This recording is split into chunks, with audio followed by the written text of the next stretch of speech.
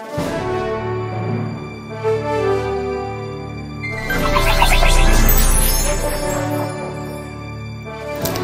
you a tarot reader who wants to create your passion, your passion of tarot into a full time profession of a tarot business? Would you like to know what are the steps? What are the five basic steps that you should be doing?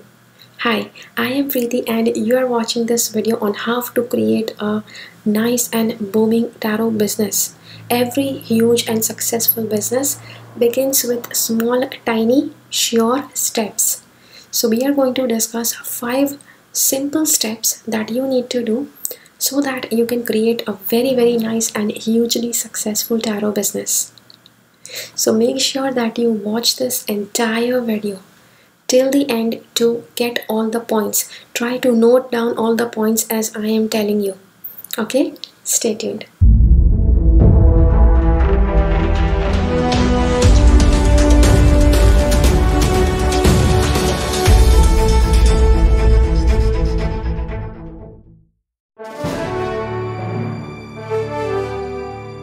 So, the first point about how you can make a tarot into your business see, before you make anything your business, you need to be thousand percent sure that you are confident in that art.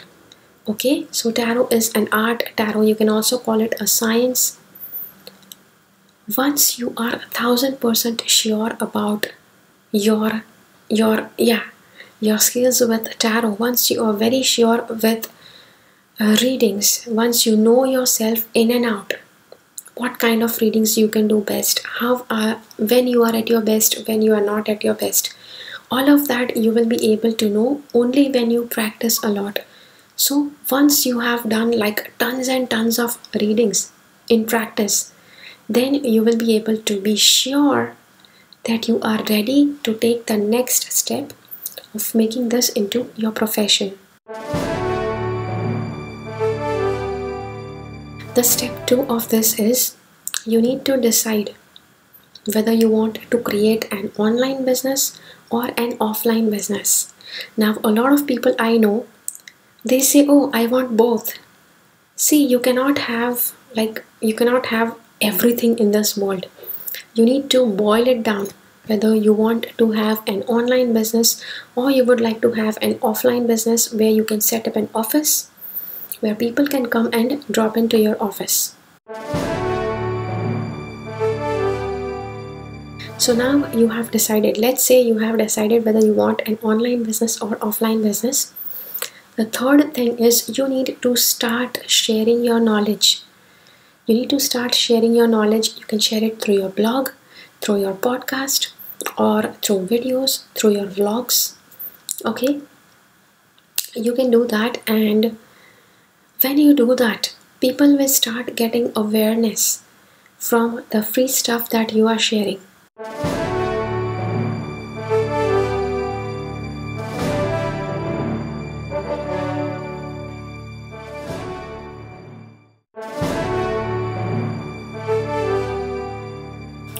The step number four is where you need to decide what is it that you are going to charge, how much you are going to charge for your readings.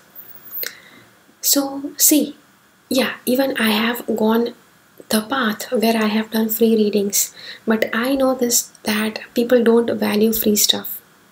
I have like experienced this like a tons and tons of times. So finally, I just decided that I need to put charges for my readings Plus, if you are giving some advice where people can change their life, people will not follow that advice until they have paid a good they have paid a good price for it. But if people have not paid a price, they will still be happily doing something that is just spoiling their life. So, how much can you charge? Charges are something that you need to decide based on your city location. What is your city like? Is it a huge city? Is it a small city? Because based on the economy level of your city, based on how much is the economy level of your city, how much are the charges of different things different stuff in your city based on that you need to set up your charges. For example if like dinner for four people okay? Dinner for four people is costing uh is costing like $50 in your city so then your readings should start from $50 because if somebody can just go and spend $50 on dinner okay that's just a one time dinner. But if they spend if they can spend that much $50 on their dining why can't they spend that $50 and spending on something on spending on a service that is going to give them life transforming advice so definitely that thing is going to be worth for them. So charge as much as yeah what is the cost of the dinner for four people or going for a movie for four people okay? How much people spend on a movie or a dinner. That is how much you need to charge them for a sitting for a sitting of tarot reading the step 5 is eat drink and repeat. What does that mean? Eat drink and repeat is these are the steps i told you. These are like very basic steps. These are like very simple steps. But you need to do them consistently. Okay? A lot of people you know when they begin when they start doing a business they are like super charged up. Oh yes you know business business.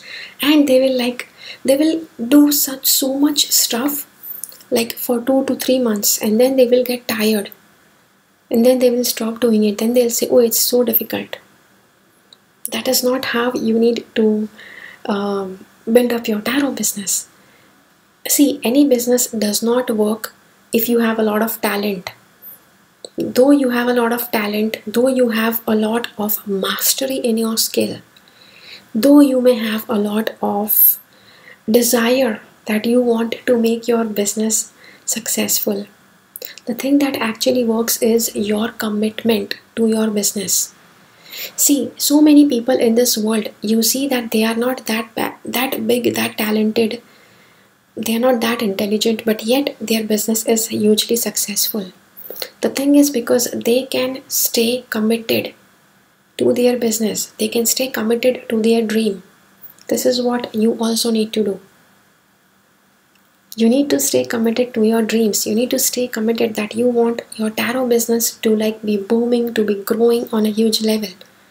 And what can you do for that? Do all the five steps consistently.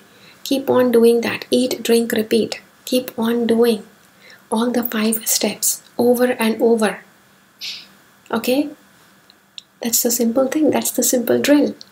Okay? So yeah. So this is the video for today if you are a tarot reader, let me know in the comments how did you like this video and try to share this video with as many tarot readers, as many spiritual people who want to make their business into like a huge, hugely successful business try to share this video with those people okay? And if you have liked this video hit the like button. If you feel that this video will help like a lot of people share this video with as many people as you can. I will see you again in my next video. Until then keep following the path of your soul's purpose because you are born for a reason. Thank you so much for watching. Make sure that you subscribe to my channel and click on the bell icon. When you click on the bell icon, select all notifications so that you get notified about all the videos that I upload.